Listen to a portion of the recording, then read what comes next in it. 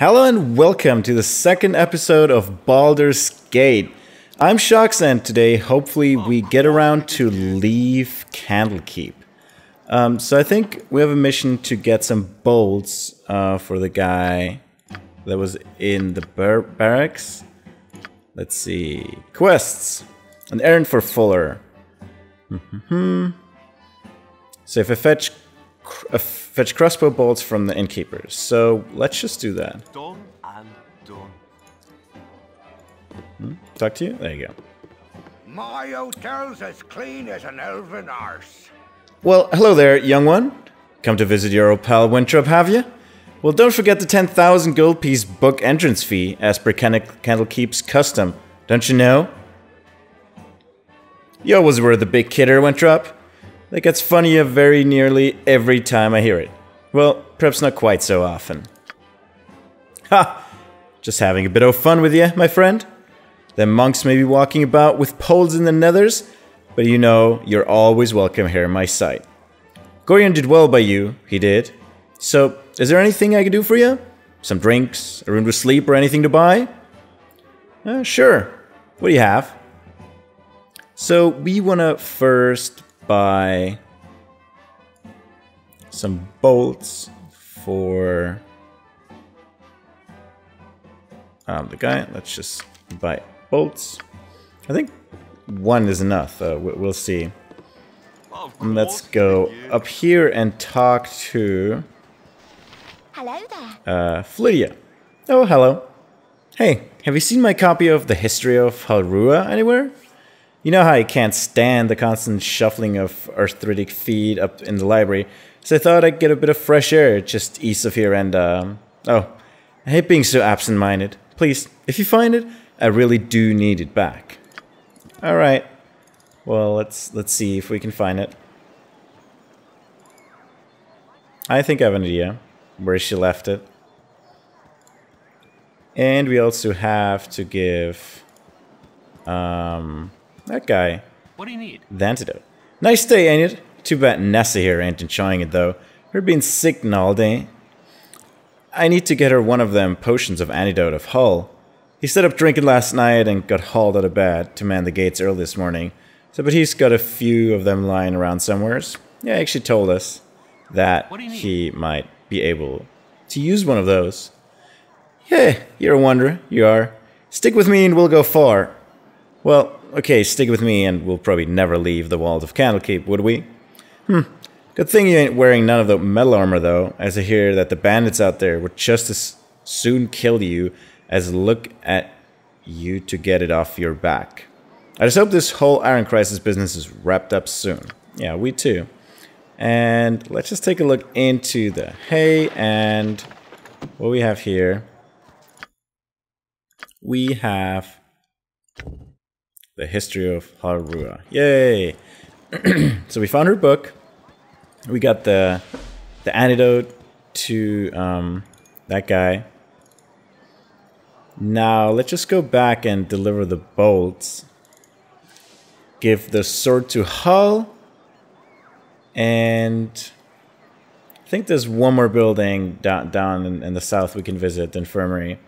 Then get some gear and get out of Candlekeep. Hell yeah. Time to start the adventure. Considering there are already two assassins have been sent after us, trying to kill us in Candlekeep, you know, maybe we should just leave. Take that as a sign. Alright, go back in here. Oh, that guy. I should have joined the army. Here you are, you little money grubber. Put a few gold pieces in your purse. Oh, now I get the money. Alright. Should what a midfield night. Wait, we already talked that. Oh, I think he just gave us the money um, because we actually gave him the bolts. Great. So now let's go to the infirmary if I can find it. I think it's here. There's a chest we can take a look at too. See if anything's in there. Uh, we already talked to him.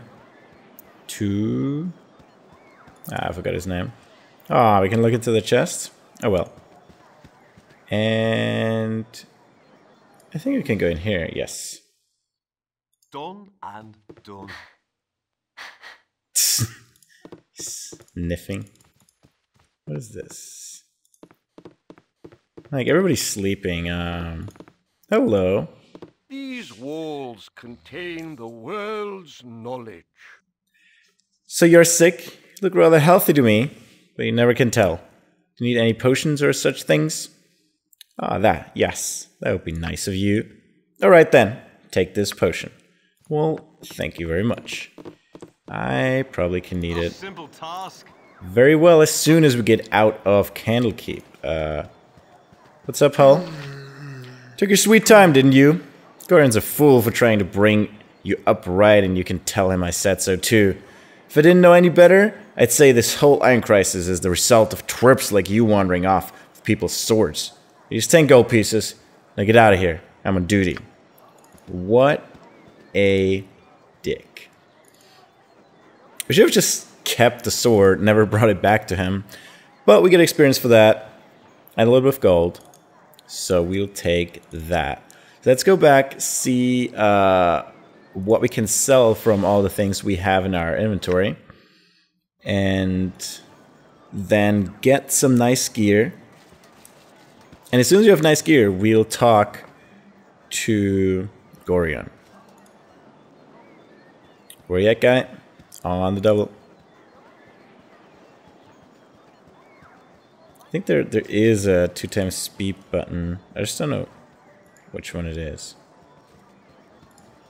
Alright, get in there.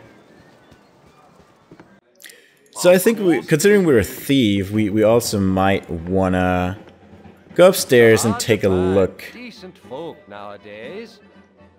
We also want to take a look upstairs if we can steal anything, um, hopefully without getting caught. Firebead Elvenhair. Ah yes, I'm back within the hallowed halls of Candlekeep. With this iron crisis upon us, the trip from Beregost was more hazardous than I care to relate. You're Gorion's ward, aren't you? My, you have come into your own, if you permit an old man jealous of youth to say so. Hmm. I left an identify scroll with Teth Tethtoril in the inner grounds. You should be done examining it by now, so if you could fetch it for me, I'd be grateful.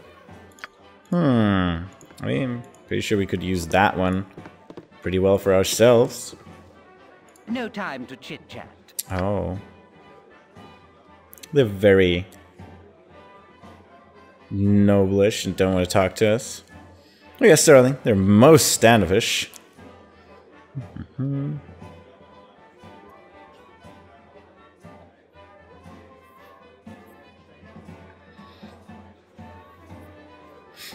Oh yeah, I, I think this one is pretty funny. Um, oh, I wouldn't let it concern you, milady. Perhaps they are not used to wealth such as yours. You're quite wealthy, are you not? Bring a lot of expensive jewelry with you? I shouldn't answer that, lovely. Seems as though this scoundrel might be trying to get a bit too familiar. Sizing up the potential loot, I think I should think. Best you to move along, lest the local constabulary gets involved. Ah, how cute. There's a fight here. Alright, let's uh, check out the upstairs. A simple task. What we can find here.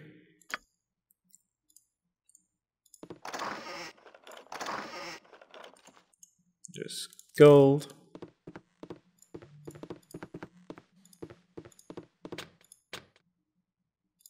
See if we can open that. Oh, a necklace. Look at that. Someone in here.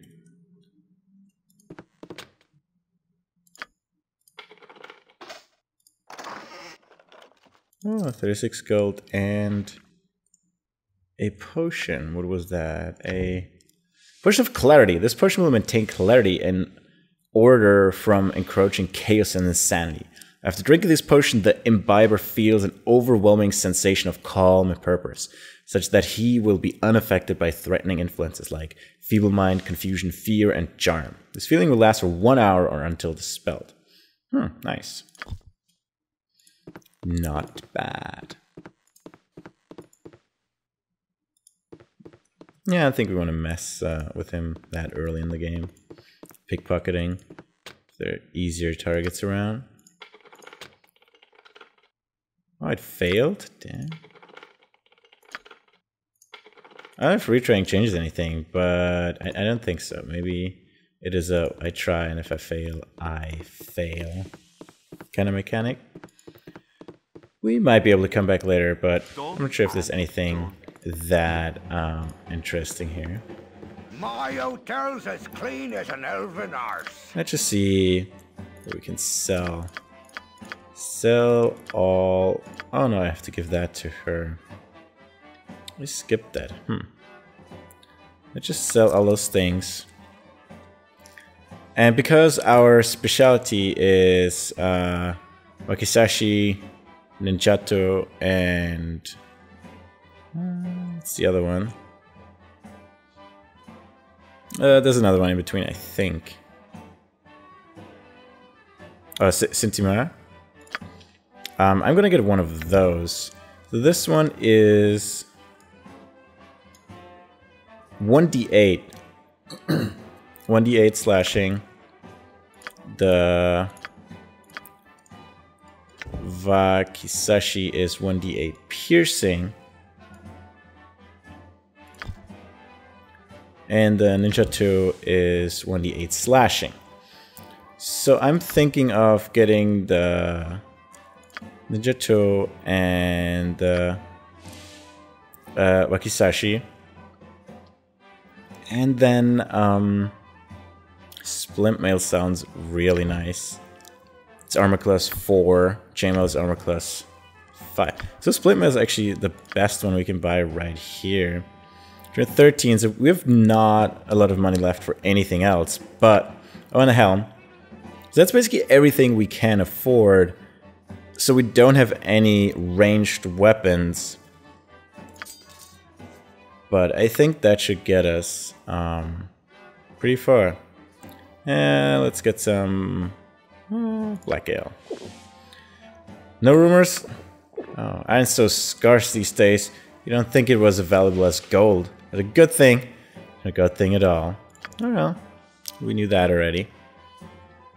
Now... Oh, we could have sold our... Um... Alright, let's put on the nice um, splint mail. Hell yeah. Put on the helmet. And dual wield. Oh, we can?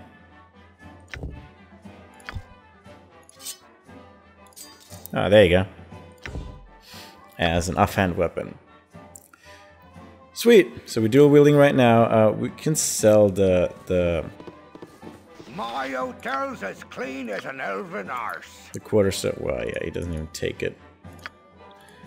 Let's just uh, can I just toss it away.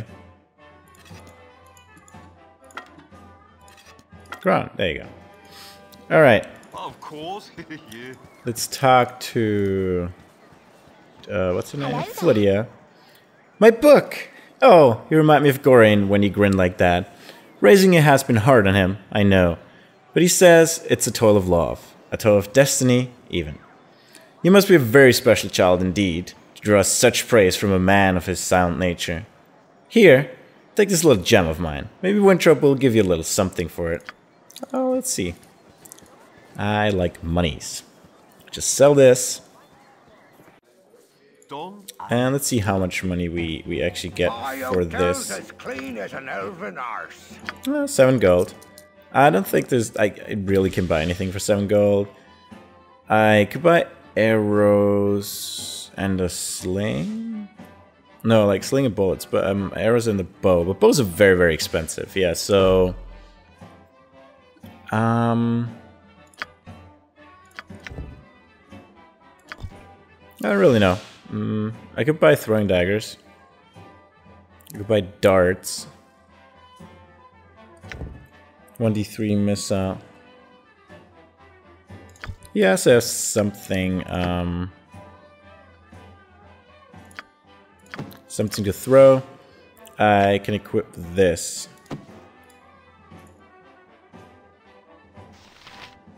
Oh, I can even...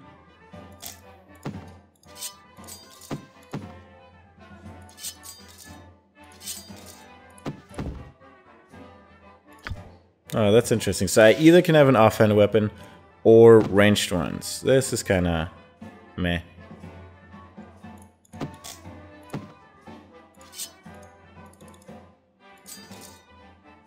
Hmm, interesting. So I can switch between those. And, um... I mean, there were two go. It's not too bad. I, I can just take um, a look and see how it feels using the darts and if they do any good. Yeah, there's some more quick slots, I think.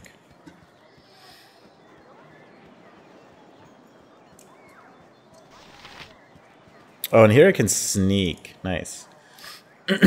then this is use items, and this is to put my trap down, set snare.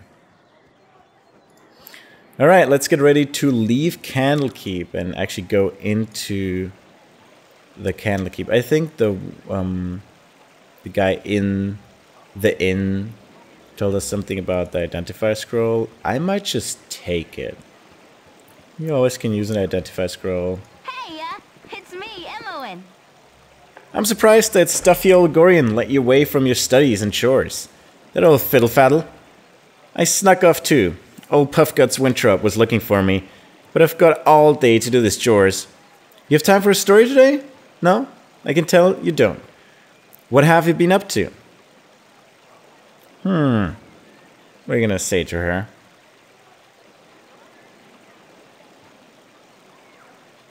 I'm afraid I cannot chat today, little one. My foster father wishes me to prepare for a journey, but will not say to where. Little one? I'm not much younger than you, though you sure got tall fast. Relatively, anyway. A journey, eh? I never get to travel. Wish I could go with you. Yep, I really wish I could. Yes, sir, really do.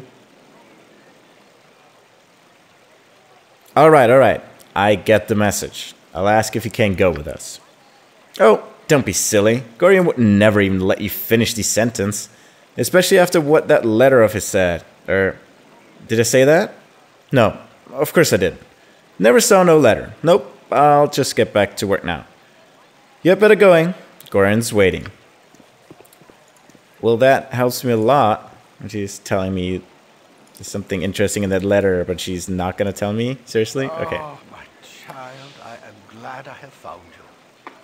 This is very unnerving, I know, but you must trust me. It is very important that you pack your possessions so that we may leave Candlekeep immediately. Hurry, for there is no time to tarry. The keep is well protected, but not invulnerable.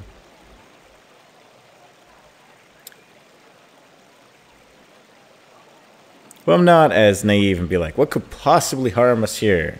This place is a fortress and guarded beyond measure. Please, father, tell me where we will be going. Alas, I cannot, for I have not truly decided yet. All that is certain is that we will be far safer on the move. Perhaps the woods might offer some secluded security, or perhaps the city of Baldur's Gate would offer cover amidst its teeming throngs of people. I do not know where we shall end up, but I have a few friends here and there. Hmm. I will think on this. Well, I'm ready to go right now. Let's do this. Listen carefully. If we ever become separated, it is imperative that you make your way to the Friendly Arm Inn. There you will meet Khalid and Jaheira. They have long been my friends, and you can trust them.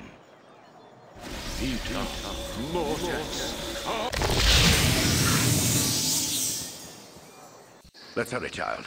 The night can only get worse, so we must find shelter soon. Don't worry. I'll explain everything as soon as there is time. Wait, there is something wrong. We are in an ambush. Prepare yourself. You're perceptive for an old man. You know why I'm here. Hand over your ward and no one will be hurt.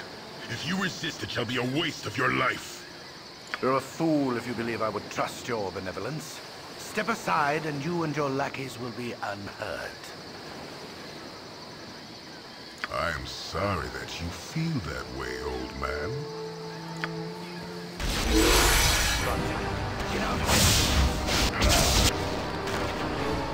No! Those guys look really dangerous. Look at how big they are, but he just chops them to pieces. It's not giving a fuck.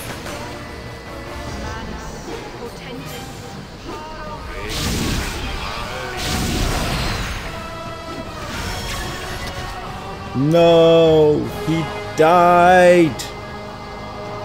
The dawn is especially cruel this morning. You awake with the realization that you have not been living some horrible dream. Ambushed, you saw Gorion cut down before your eyes, and even his powerful magic could not stop the onslaught. It was his wish that you flee, but that does not remove the feeling of helplessness that now overwhelms you. Hand over your ward, the armored fiend had said.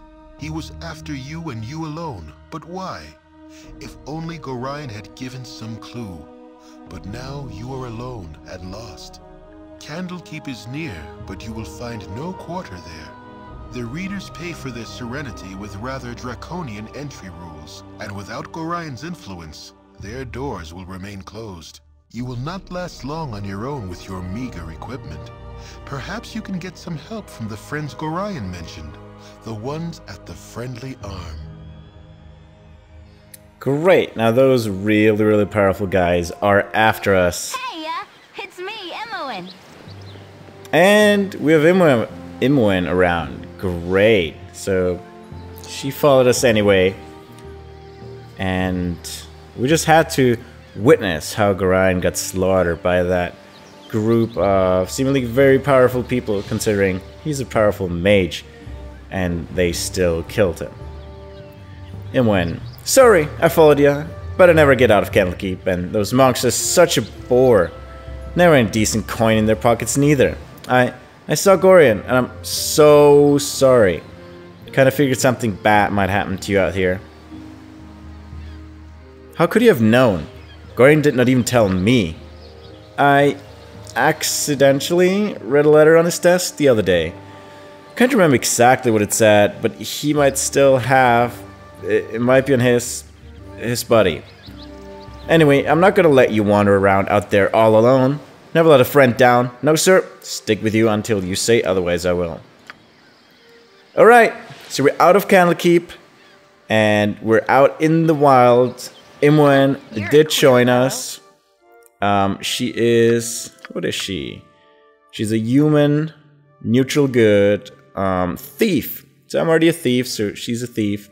So I don't know if um, we will keep her very long in the party. Certainly, we will keep her in the beginning, at least until we find uh, Calicia and the other guy that was mentioned. But so far, thanks so much for joining the second episode of Baldur's Gate. See you next time.